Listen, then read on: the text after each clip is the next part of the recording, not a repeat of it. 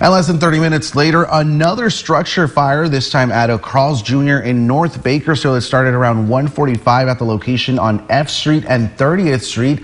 Both city and county fire crews responded to knock down the blaze. It's not yet clear how this fire started, but the roof of the building was badly burned from the flames.